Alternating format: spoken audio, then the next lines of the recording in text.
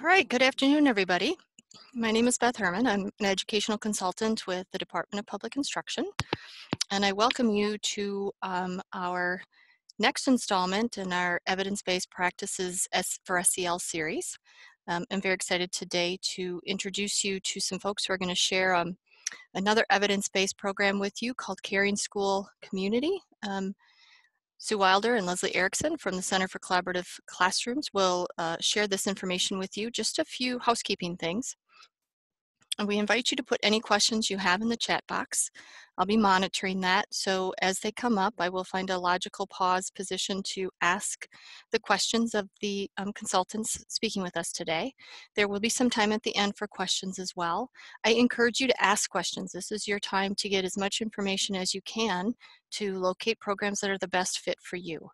This um, webinar series came out of that desire as we got lots of questions from those of you in the field asking about various programs.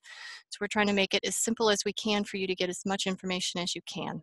This program will be recorded and it will be posted on the website as soon as we um, get it closed captioned as is required.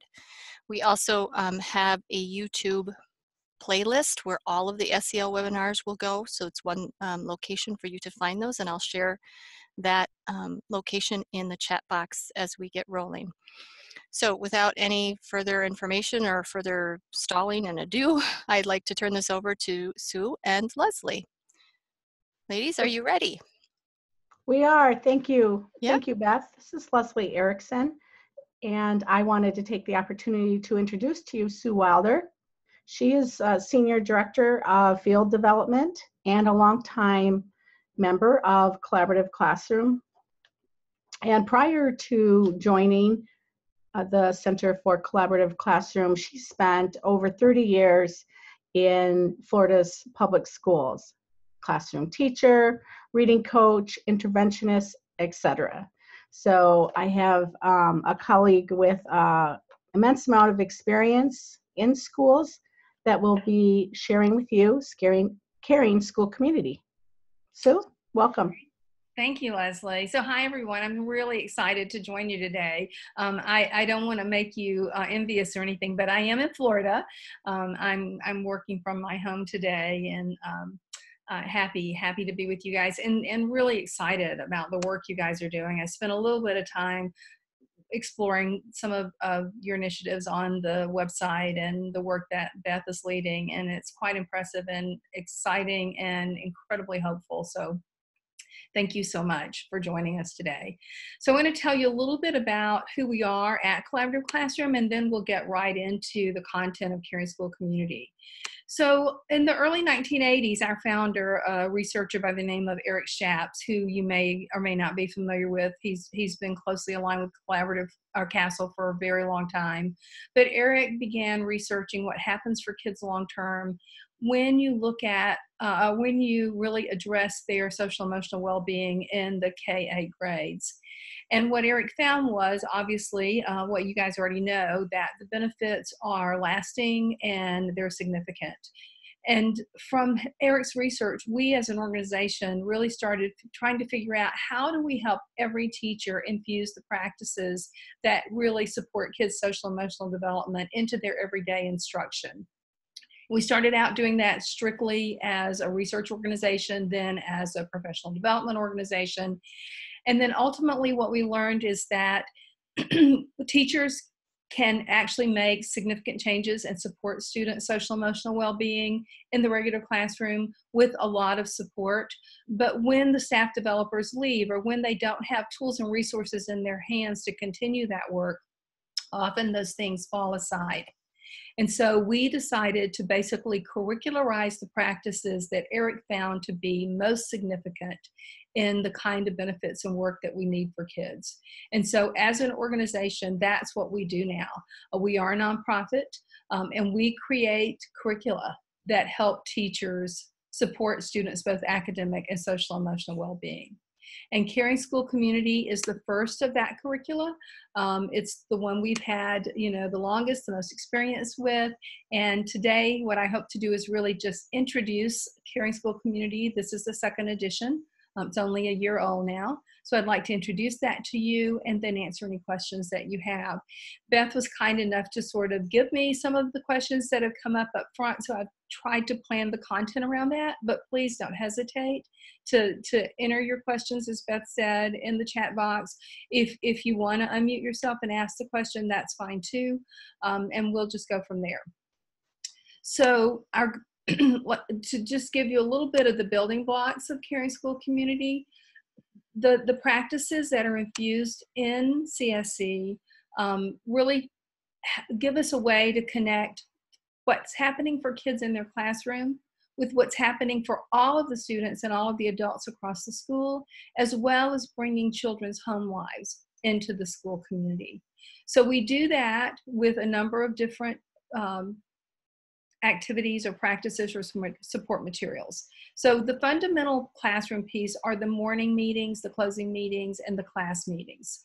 So the morning and closing circles or meetings uh, really help kids build that sense of community. They uh, are designed to connect what's happening across the day for students and, and we'll and across the year really and we'll go into that a little more further the home, the cross age buddies activities are a way of helping older kids and younger kids really get to know each other really building that school wide community and they and the children work on things that really help them both academically and social emotionally and help build that sense of community so that kids are taking care of one another not just when they're in classrooms but when they're on the playground or they're at the bus stop and so so forth. And then the the way that we bring the home into the classroom is through two things the home sorry i'm clicking buttons that i shouldn't be through the home connection activities those activities i'll say a little more about but that's a way for kids to bring some their family values and cultures and things that their families care deeply about and, and just life experiences that they're able to share with their classmates. And then school-wide activities are a way to bring, actually bring the members of the community and people from home into the school for things where we might learn together, celebrate together, maybe even do some projects together. So I see Jessica has asked a question. Are there any schools in Wisconsin or in neighboring states that are using Caring School Community so you could observe in action? I uh, I'm going to have Leslie. You know, whenever you're ready, Leslie, you can respond to that question. You can either put it in the chat, or if if you need to do some more research and be able to report back, that's fine too. So you can just let us know. But Jessica will definitely let you know where there may be nearby schools who are using School Community. So try to get my chat off my screen. So what do we do with a, a, a school community? Well, we're really intentionally working with the adults and the children to build those caring relationships. We want kids to care about one another. We want the adults to care about one another. We want kids to feel safe. one of the ways we do that is by directly teaching the social skills kids need to work with and get along with all kinds of people, even those who may be different from themselves. So we teach them how to turn and talk with a partner. We teach them how to take responsibility for sharing their thinking. We teach them how to agree and disagree respectfully. We teach them how to really listen to one another. Um, and we do that by, by working with our students to create calm and orderly learning environments. and and through doing that by in, including the kids in the creation of our rules and the ways we want to be we're able to help them acquire and develop that self-discipline that they need to really take responsibility and ownership for themselves um, within the school day. So i see a lot of questions are popping up. I'm just going to pause and see is there something else here beth or leslie that we should stop and talk about um, I think that you're okay to keep going. This is uh, regarding the conversation about districts in the area. So ah, um, okay. thank you. Go ahead and keep going. Okay.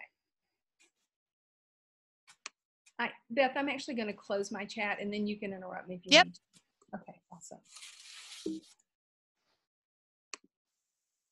So just a little bit about the research space. I shared with you that Eric Schaps was our original researcher and you know, you may be familiar with the Child Development Project. We fondly referred to as CDP. Um, but some of the outcomes of, of CDP and what Eric learned is, and this is you know all reported in the CASEL research as well, and and the meta-analysis. But we we know that when we focus on student social emotional well-being, they do better in school. They're more likely to be engaged. They're more likely to want to do the work, to come to school, um, and really work harder.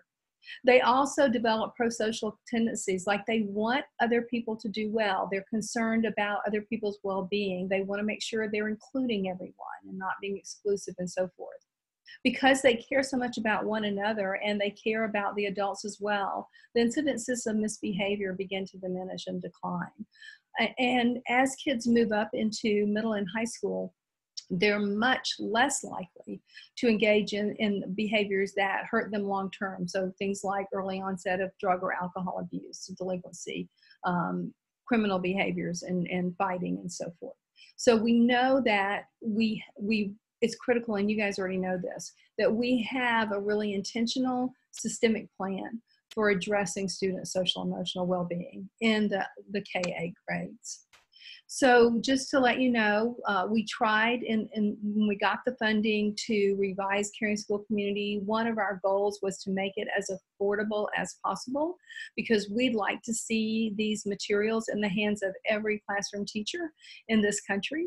Um, and we'd like for every leader, school counselor, you know, whoever might be leading these initiatives to also have the materials they need for successful implementation. And so we priced the materials accordingly the teacher materials, and, and it is important that every teacher have their own set of materials. The teacher materials are $150 per teacher or per classroom. And then the principal's leadership kit, or if you're a guidance counselor leading this initiative and, and others who might be doing that, the materials you need are $125. So this is what teachers get. Um, if you're a teacher in kindergarten or first grade, you're going to have your teacher's manual that will include all of the guidance for implementing caring school community. It will also include supports for problem solving and it will help you really understand why we teach the lessons in the ways that we do. You also will receive the Cross Age Buddies activity book. The Cross Age Buddies activity book includes a, a, whole collection of activities that you will plan with your partner teacher for helping kids get to know one another and at the same time developing socially and academically. So, uh, those of you can see me, you can see how thick the Cross Age Buddies book is. And the activities in the Cross Age Buddies book include things such as um, early in the year getting to know one another activities. They include cross curricular activities in art, in language arts, in math, in PE, in science, in social studies, and so forth, as well as end of the year celebration activities. You also receive an assessment guide that helps you really assess and survey your students and yourself and thinking about implementation and how kids are doing. You have student questionnaires, faculty questionnaires. You have assessments for program implementation to help guide your own implementation and so forth. And then you have the, the Caring School Discipline book. The Caring School Discipline book, I'll say a little more about later, but this is a support resource for helping you really address ongoing problematic behaviors that children might be having. You have um, trade books that go with the program that support and help kids have conversations about important ideas. And then finally, in KN1, you have classroom chat cards. In the upper grades, those will transition into classroom meeting cards, but we're helping young kids learn how to really participate in a, in a class meeting using those chats. So similarly, in grades two through five, you have those same components. Um, you have a few more trade books. Well, you have the same number of trade books, but the one thing that is different is the class meeting cards are uh, much more robust, obviously, as kids are really addressing and taking on challenging and difficult problems. And I'll say a little more about how those class meeting cards are organized. So I mentioned a little bit about the Cross Age Buddy book. You'll see that we recommend kids are separated by at least two grade levels. There's 40 activities that are included, and we suggest that buddies meet uh, once or twice a month so that they really do have the opportunity to get to know each other and develop those special relationships um, with, with younger and older students. So the way we a week is organized is um, every week has a very predictable structure. If you open any of our lessons, you're going to see very similar routines so that once teachers get accustomed to using the materials, it becomes very predictable both for them as well as for their students. So each week starts with an overview of what's happening across the week. Then there will be a feature that includes integration suggestions. So, uh, what might go with what we're doing this week thematically in your content areas? Uh, where might you infuse some opportunities for social skill development or social emotional learning in your content area? As well as suggestions for how to assess how kids are doing, developing the social skills and social emotional learning competencies. Each week, we'll have a daily morning circle where kids come together and do some work together, building their classroom community, uh, developing norms, and so forth. And each week we'll have a closing circle activity where kids play games, they greet each other, they think about how they did that day, and they're proactively solving problems that might have come up every week um, in, in kindergarten and first grade, there is a community chat in grades two through five. And I see I have an error on the slide, so I apologize for that. But in, in grades two through five, we have class meetings where kids come together and work on problems solving or getting to know one another further or and, and being proactive about things like getting ready for substitutes or getting ready for field trips and such as that and I'll, say a little more about that. And then each week includes a home connection activity. So typically what happens is on Monday, the children get their home connection activity and then on um, friday or later in the week they'll bring that home connection activity back and share what they learned with their partner and with their classmates and those home connection activities might be as simple as um, go and talk to someone in your family about how you got your name and then kids will come back and share the origin of their name and so forth. It's a way to build community, but also bring the home into the classroom. So a typical day with Caring School Community would include a, a, morning circle activity where kids greet each other and they'll, they'll include some kind of activity for that day. Um, the closing circle is five to 10 minutes, depending on what they need to talk about, what teachers have observed that she might want to address, or something kids might bring up. The class meetings are, are a little longer, community chat, that's once a week, and, and teachers would need to carve out 15 or 20 minutes for those class meetings. The buddies activities, probably teachers will allocate 30 to 45 minutes a couple times a month. And then in grades th- two through five, we recommend um, usually at the end of the week about a 20 minute time for kids to make choices where we can really help them learn how to make thoughtful choices and spend time doing things like extra reading or writing or playing math games or you know project based activities that where kids can take responsibility and ownership for their own learning and their own behavior and, and getting along and collaborating with others. So the organization of the year, kindergarten through fifth grade, starts with uh, fully specified lessons during the first 10 weeks. The goals of these lessons are to really help kids build that classroom community, gives them a chance to work together with their teachers to establish how they want to be as a classroom. And that's when we launched the Buddies program. Following that, you have topic weeks. After kindergarten and first grade, those topic weeks can be taught in any order. So teachers would choose which topic weeks they want to address based on what the needs of their classroom or what's happening in their school. So those topic weeks are organized by categories such as school life. So things like playground, uh, the lunchroom, assemblies, and so forth. Character building lessons, where those uh, lessons will include things like um, just personal development and, you know, how we want to be as human beings. And then the social issues problems will address topics such as bullying or teasing, exclusion, and so forth. There are open weeks so that teachers can create their own lessons depending on what they believe their kids would benefit from. And then the end of year activities are really celebrations and reflections on how we grew as a classroom community and how we've developed as human beings. The grade six through eight teachers packages include some of the similar components. Um, the, the six through eight organization is a little bit different because we, uh, re- we recognize and understand that the schedule and the organization of the school day in those grades is a little different from the typical elementary school. And we want um, kids to still have this opportunity to work on social emotional learning, but at the same time, we understand that the parameters and logistics might be a little different.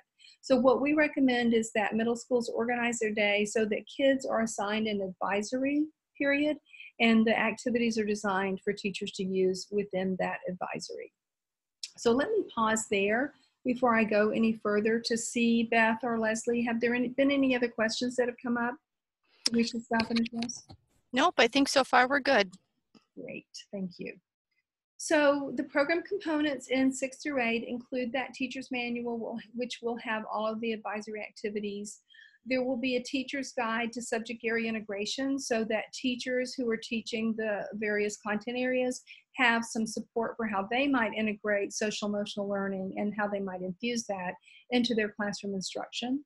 You, you continue to have the Caring School Discipline book. This one's geared specifically for older students. You'll have your assessment resource book so you can really inform what's happening, but you can also assess the results. Uh, again, you'll have a Cross Age Buddies activity book with activities that teachers can use to help kids get to know one another outside of their classroom, as well as the school-wide activities where you can bring the community into the school, the life of the school. So the organization of the year, similar to the organization in the K-5 grades, the first 10 weeks are taught in order because we want to really build a foundation for the work we're going to do across the year. The topic weeks, um, again, teachers decide and similar kind of uh, organizational structures in terms of the categories. We do include wellness and creativity in the middle school years, so we want kids to learn how to take care of one another as well as really utilize the talents that they have you still have support for teachers to create their own. You know, we really believe that we want to work ourselves out of a job. So once teachers learn how to integrate these practices, uh, while we hope they'll continue to use our materials, we want them to also really honor and, and recognize what they need to do for the kids they teach. And then the end of the year closing activities where kids learn how to celebrate their accomplishments, but also say goodbye and wish one another well. So some of the sample topic weeks are listed here. So you'll notice things like uh, under the positive school experiences, kids will, you know, really work together to think about, you know, how can we make lunchtime a positive time for everyone? Or how can we develop friendships? Uh, how, you know how do we work together in appreciating the differences that that we have from both our cultural perspectives but also just our diverse things we care about things that we're interested in and so forth? You'll see that there are social issues such as peer pressure or um, respecting one another's belongings and so forth. And then the wellness and creativity lessons includes things like the importance of sleep. And I think middle school kids in particular, that's kind of important. So I'm going to share with you now a, a, class meeting video. This will give you an example of what a class meeting might look like. This, this particular video was filmed in Oakland, California. Oakland is a, a district that we've worked in for a very long time. And so um, we have a significant amount of video from classrooms in Oakland. And, and if you would like to see any more of those, I'll share our website at the end. And you feel free to go and uh, go to our YouTube channel or just go onto our website and, and you can get to know the program materials up close and personal via video. Sue, so, I, I, I do have one question. Would you like to take it after the video or before? Uh, I can take it now. So are there components built in to help build adult SEL competencies? There are, and those, the adult support are primarily found in the principal's leadership guides. So I'll say a little bit more about the principal leadership guide at the end, but um, you know the way we organize that leadership guide is for really it's designed to help the principal and, and his leadership team really build that adult learning community um, to help the adults in the building get to know one another better. There are meeting agendas with team builders infused throughout and so forth. Thank you. Perfect. Okay. So as you watch the class meeting, just think about what you notice um, and how what's happening in this video might be supported in, in your setting. the class meetings really do help the children identify emotions that are happening and find empathy with their classmates and put themselves into other people's positions too. They're they have very limited vocabulary at this age and they are still learning how to express difficult emotions with each other and it's just you know a way to give them some language give them some practice have them see things and to move forward we learn lots of things in class meetings we learn about about new things and learn about what do we do. Sometimes we forget. We share what's in our in our mind, our hearts, and our soul, and then it just lets out everything. We just let out everything that happens. Like if it if it's if there's bullying, um, we care for each other. I think it's important to get your feelings out, and it helps with social skills, being able to speak your mind and be true to yourself. Because not a lot of kids have that opportunity and are able to do that. I think it makes the class a little bit better because once we go over it, you don't see it as much as you did. So I think it helps. The meetings do work, and you're getting kids to talk, and you're getting kids to get to know each other, and you're getting kids to learn how to agree and uh, agree to disagree, and that kind of conversation uh, really it builds a team and i think that when you have that foundation that's when you're able to see it in all other facets. They want to listen to each other. Usually this age child wants to has a lot to say and you could see that they still have a lot to say but they're also listening to each other and changing their their thinking as they're listening. It's one of those few times that that happens. The kids who have gotten picked on haven't really spoken up about it. I think class meetings have gave them the courage to actually speak up about it. I've learned that like other classmates are more sensitive than others, and others have been teased, like have been picked on. It like makes me nicer to the to that person. When when you hurt someone, it doesn't just hurt the person that you hurt; it also hurts you. So if you learn how they feel and you learn how that really hurt that person, that will help you understand that you have to say sorry. There's some certain people in the class that don't really, I'm not gonna say hate, but dislike other people. Like when you hear from them what they're getting teased about, you don't you don't want to do anything like that because like they share how they feel about that thing, and like you might dislike them, but you might not dislike them so much that you have to say that one thing to them the kids learn that if somebody hurts me, I can still care for this other person. I can talk to this other person and we can still build a relationship. It has made me more aware and empathetic of the emotional tone of my classroom. It has made me really value the fact that when the children are safe and um, able to express themselves and um, and feel good, just how happy the classroom feels. Good interactions take place, beautiful things that children teach each other and make a new friend even. Back,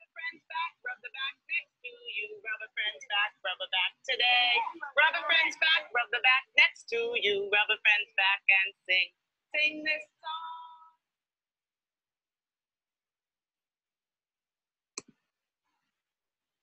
So I'm going to invite you to just take a minute and either enter in the chat or if you want to unmute yourself and just say out loud, what from this video really resonated with you? And what, what do you think about how meetings like these might support the students you serve um, in their social emotional development? I'll give you a, a few minutes to think about that and I'm going to open the chat so I can see what you might be entering or feel, please feel free to unmute yourself.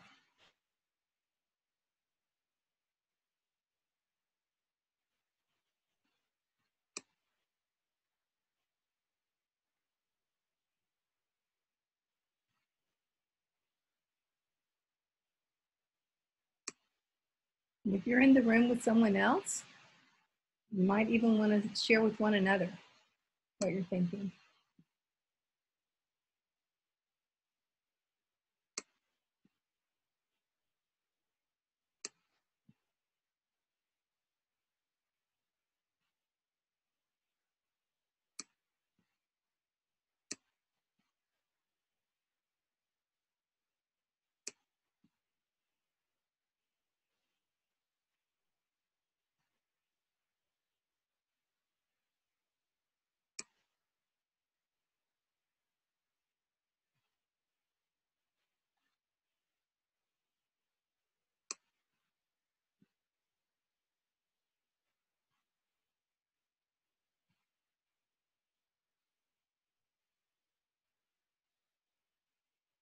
So I hope you'll really continue to think about how class meetings and uh, might really support your students and what you noticed about the students in the video and how they've been developing the social skills but also SEL competencies and how class meetings might help them. So I'll continue with the caring school discipline component because I think this is something that we all struggle with um, in schools and certainly, you know, we, we want to be proactive about school discipline so that kids make better choices, they make better decisions, they understand why it's important for them to be respectful and kind and helpful and, and, and really exercise some self-control uh, while they're at school. And, and they really are able to do that.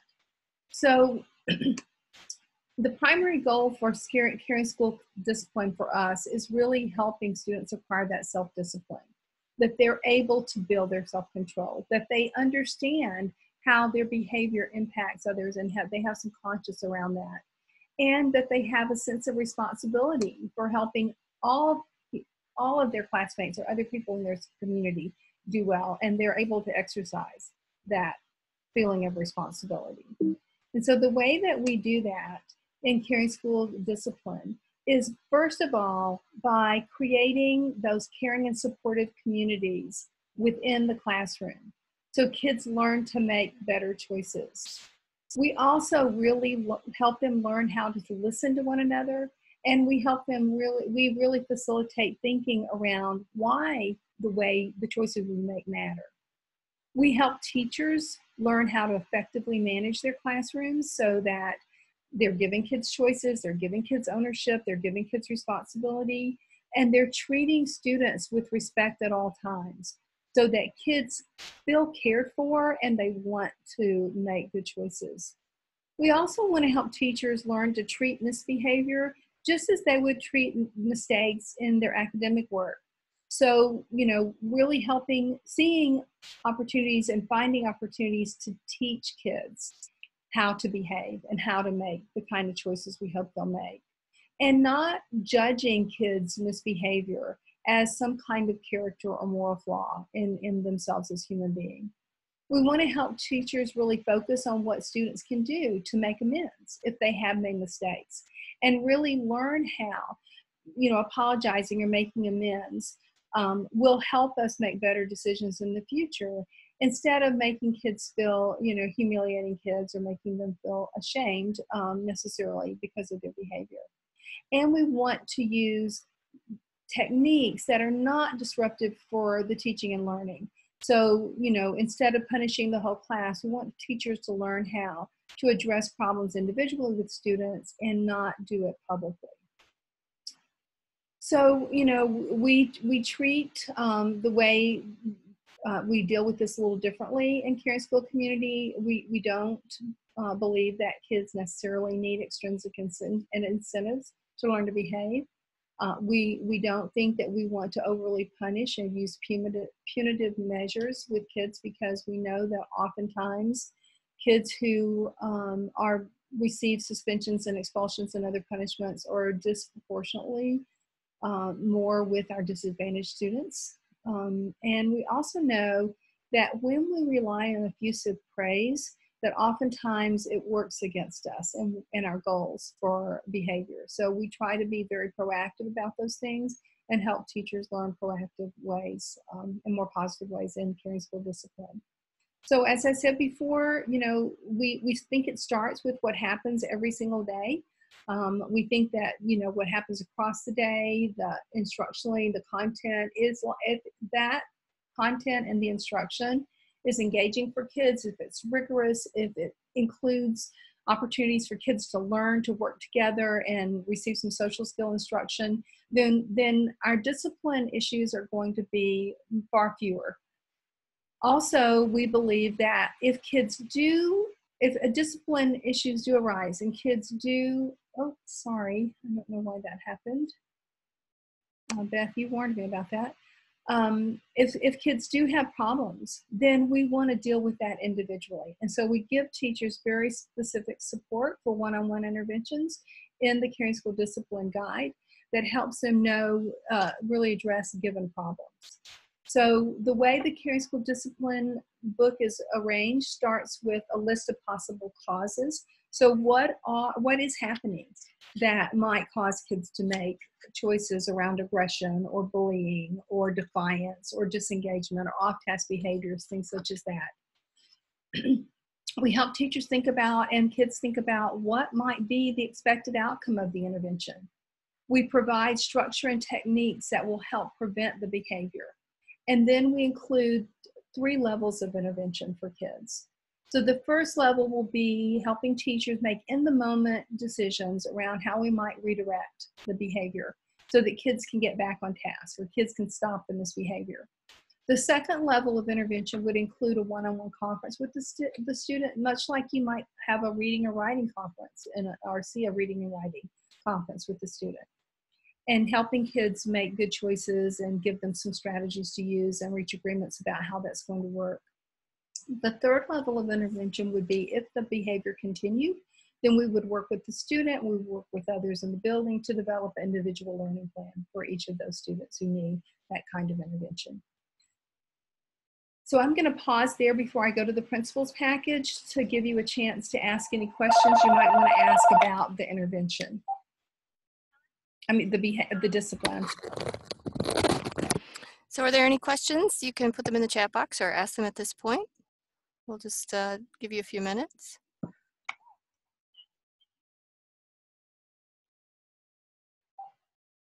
It's not looking like anything's coming in at this point. So if you want to keep going, Sue, we'll check back again. Thank you, Beth. So the principals package includes the components that you see here on the screen that help a, a principal or a, any leader really who might be supporting this implementation structure and organize the implementation across the year. It gives you all of the tools that you need. So you, you'll receive the principal's leadership guide.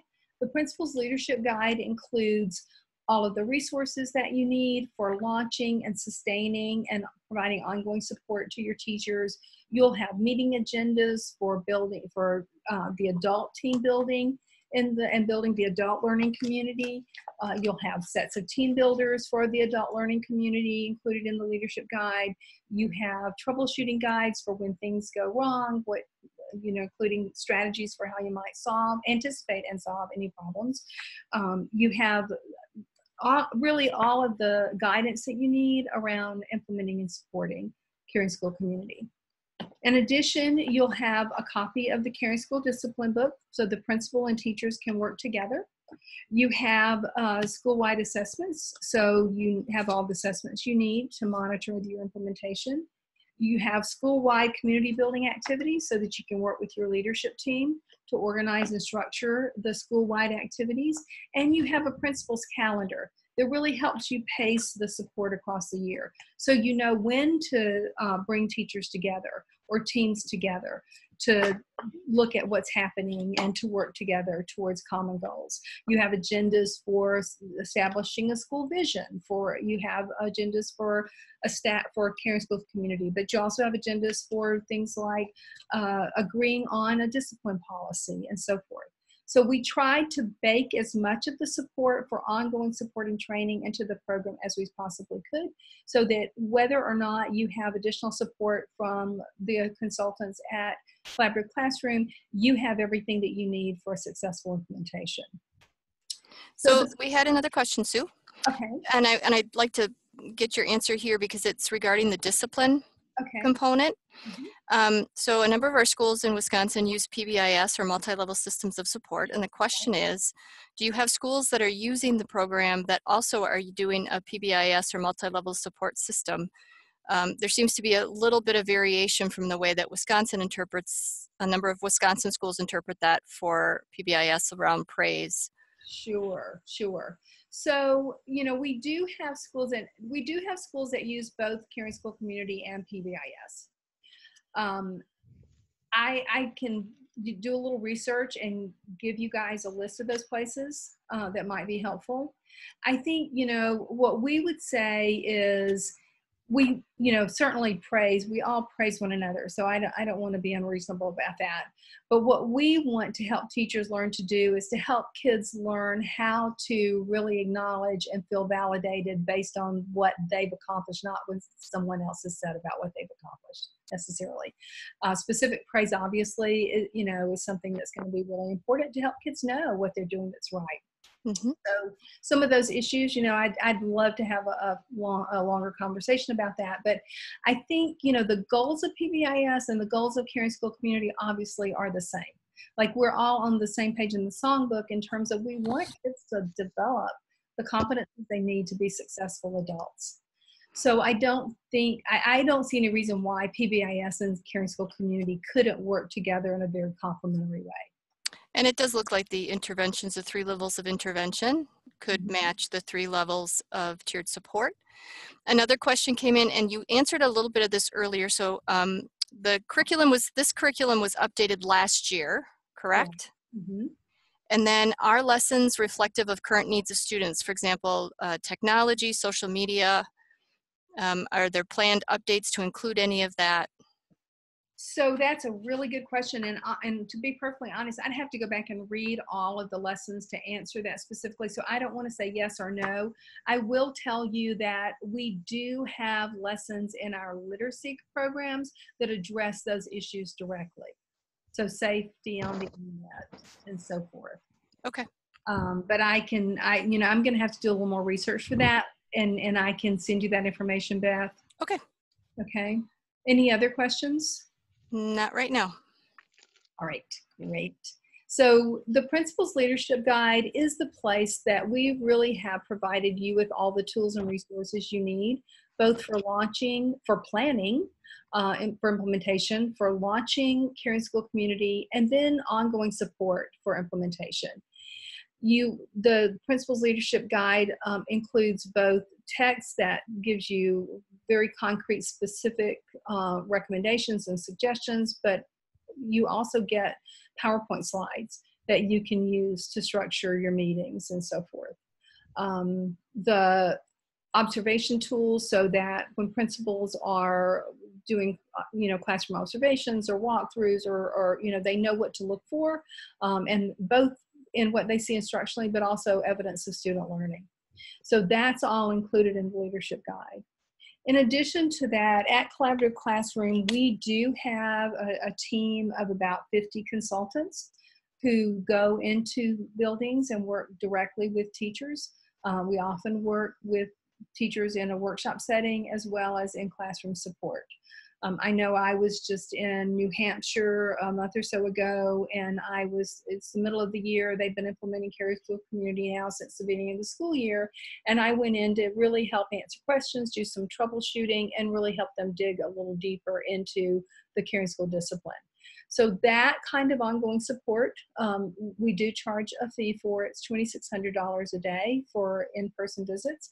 In addition to the in-person visit, we offer ongoing virtual support. The cost of that is obviously significant less, and I don't know the current pricing, but I can check on that if that's something anyone is interested in. Um, if you decide to invest in the caring community, you'll want to work directly with Leslie on an implementation plan where you can really decide together how many days you might want to have us work with you in person, how many days you know you might want to do some kind of virtual ongoing support, and then she'll give you a quote for what the total of that would be. We often do provide some complimentary support as well, so I'll just uh, let you know that. In we have two more questions. Okay. So a question about cultural relevance, um, particularly for some of our school districts and communities that are very diverse.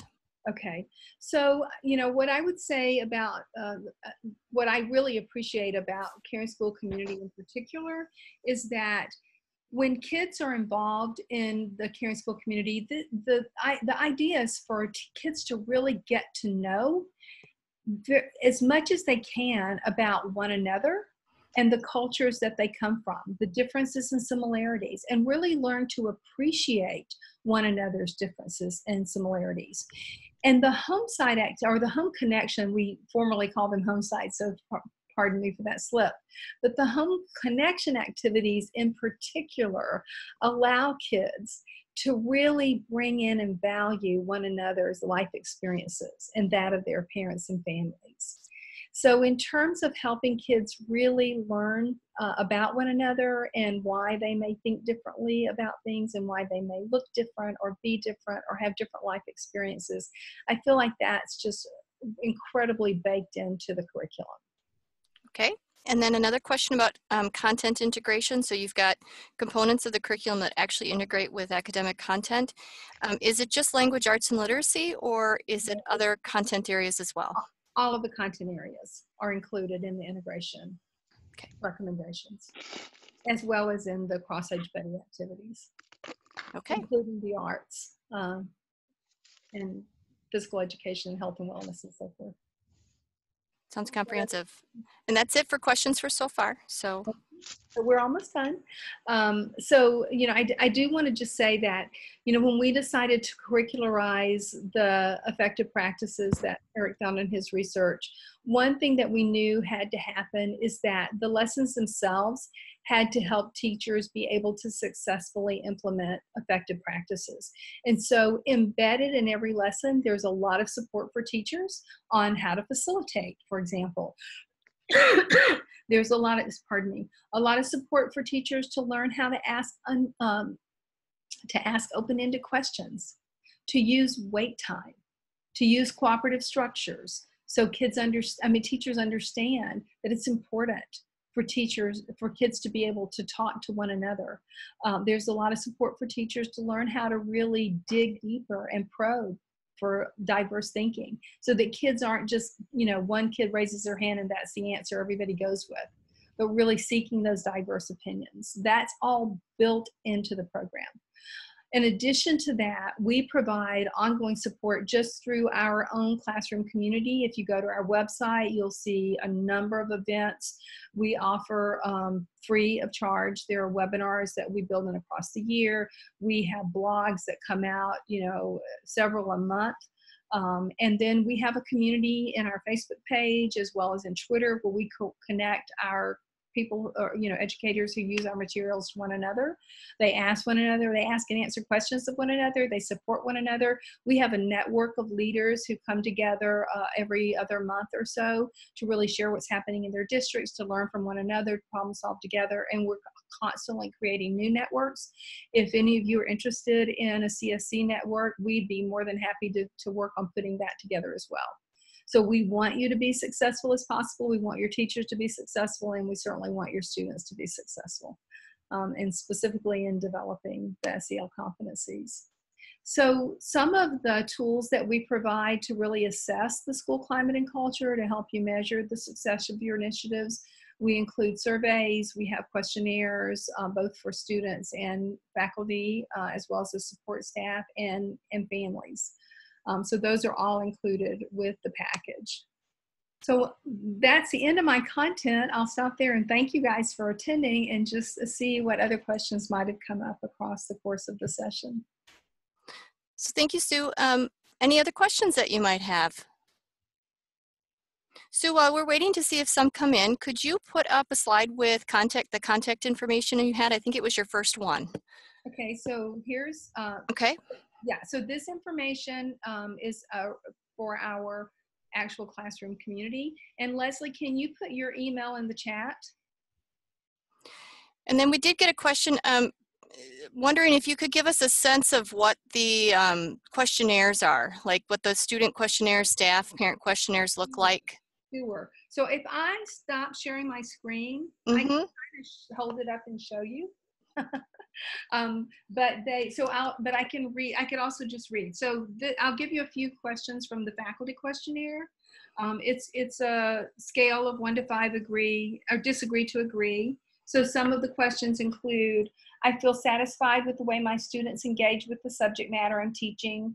I'm able to speak to students in a calm, respectful tone, even when problems arise. I'm able to redirect off task behavior with minimal disruption to my lessons and so forth. So uh, support staff questions are include things like I feel valued for my contributions and ideas. I'm included in school-wide activities. And then the parent family questionnaire includes questions like I feel welcome at my child's school. I have a sense of what's happening in my child's classrooms. My te- child's teacher helps me understand some ways I can support my child's learning. So that's just a sampling. Uh, is that helpful? Yeah, and then Sue, how many questions um, roughly are each one? Yeah, I can tell you for each one. So, um, so the school su- climate survey overall has, they're not numbered, so let me just ask. It looks like about 15 questions. The Okay. student questionnaire has 15. The faculty questionnaire has about 15. The support staff questionnaire has about eight. And then the parent family questionnaire has only seven. And are they designed to be done like pre and post, or is that kind of up to the It's the to district leader community? to decide. Um, I think I, I would probably do pre and post data. Okay. I would do beginning of the year and end of the year. And, and the, there's recommendations, suggestions within the materials for how to use these and when to administer them. And then um, just a question that's come up before. Um, you have the first 10 weeks of the lessons, and you had indicated that they should be done in order because they scaffold. Correct. Um, and then have you found like a, a dosage at which people report uh, better outcomes, like teachers report better outcomes if they complete certain number of the lessons or the activities or So Um, certainly, certainly the more frequently that you use the lessons, the program's really designed to be used daily. Okay. So, you know, you have enough, you have an, you have 30 weeks of instruction, basically, with support for, for developing additional lessons. Um, and, and certainly, you know, the more frequently you, you- I- we really recommend you use the program as designed. So I will tell you, um, when I went to check in with the district in New Hampshire a few weeks ago, the teachers who have been teaching the program with intention and really teaching the lessons every day consistently or yeah doing the circles every day consistently and using the lessons every week were reporting unbelievable success stories. The teachers who taught the first 10 and then sort of kind of dropped off they weren't doing as well. The students were not doing as well. Okay, that's good to know. Share that with you. Yeah. Other questions? I think I think Sue did a really great job giving you guys a, an overview of what's included in the program and the costs and you know just certain things to think about. But is there anything else that you would like to know?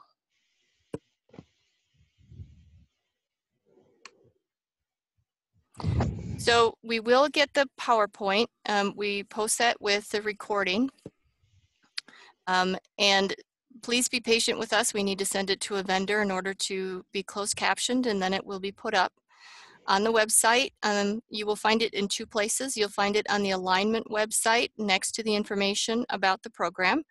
And then um, on the bottom of the building expertise page is the link, and I also shared it with you here in the webinar earlier, to the YouTube playlist where all the different webinars we've done this year on um, SEL will be in one location. Um, I will send something out when this webinar is ready to let you all know. Um, so if we have no more questions, I'm just going to kind of give it a, a minute or so here, if that's okay with the two of you, and see what we get. Um, how does this pair with safe and civil schools? You know, I'm not familiar with safe and civil schools, so I, I apologize. I can Yeah. do the research. I'm not either, so I'm not sure I can even answer. Okay. Other questions? Leah, is Safe and Civil Schools a character ed program?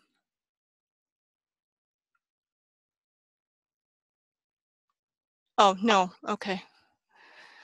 Um, I'm not sure we have an answer to that question. But I think if, if you were to send some information to Sue or Leslie about safe and civil schools, they could probably give you a little bit more information about uh, the connections and alignment. Would that be true, Sue? Uh, for sure. I'm going to Google it real quick and see if I can find it. Okay. Um, you know, I think the biggest difference, I think, between caring school community and, and most other SEL uh, support programs that I'm accustomed to is CSC is really designed to be used by classroom teachers every day. Okay, so it looks like Safe and Civil Schools is uh, a training for PBIS. Ah. Uh, correct?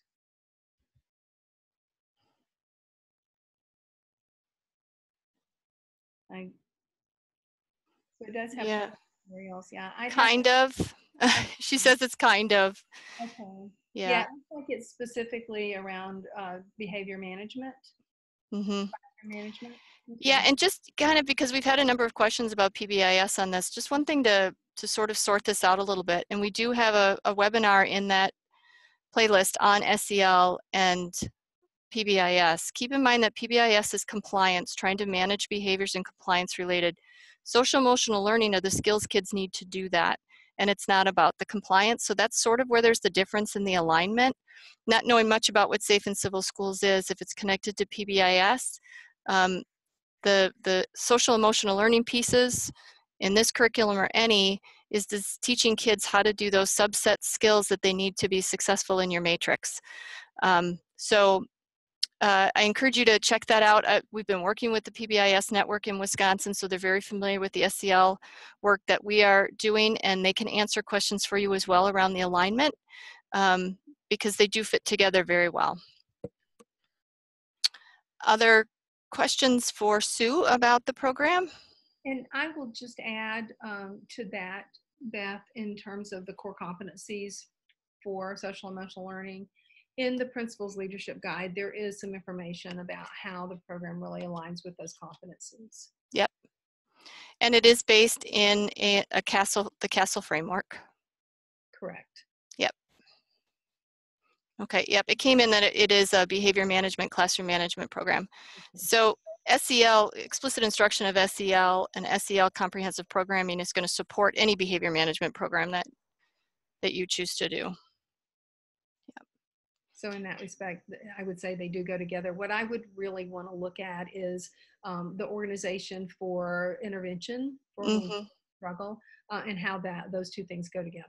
Yeah. And, and that. So it may be if if the Safe and Civil Schools has a plan that's working really well and that is the school-wide discipline plan that you use, then you know you might consider replacing the caring school community discipline with what you have in Safe and Civil Schools that's a that's a good point to make. Um, so uh, everybody heard that that if you find that you're already doing a behavior management or classroom management system that's working and it aligns with the work that you're doing with SEL, you may not need to do the component in the program. It'd be, it would be the conversation. I, I, I think what I would recommend is when the school leadership team gets together to decide what you're going to do and really start to put together your school-wide discipline plan or to uh, to evaluate your current school-wide discipline plan that you would look at both approaches and then decide what's going to be best for your students and what really matches what you're trying to do and what your goals are mm-hmm. All right, so I think we're going to wrap up here. Um, you have contact information for Sue and Leslie. I will put my email here in case you don't have it, although I imagine you folks get things from me very frequently. Um, if you would like to, and this came up earlier, to talk to somebody who is using the program, um, as Leslie indicated in the chat box, they're just beginning to work with schools in Wisconsin, but they do have some national partners. Um, they do have contacts of people that will be willing to talk with you about the program and tell you their experiences. So just reach out to us to let us know and we will connect you. Um, and be patient, but we will get this recording online for you as soon as possible. And with that, I think we will um, end here And I thank you again for joining us for this webinar today on Friday and have a great weekend, everybody. Um, enjoyed seeing you all again. Thank you. Bye.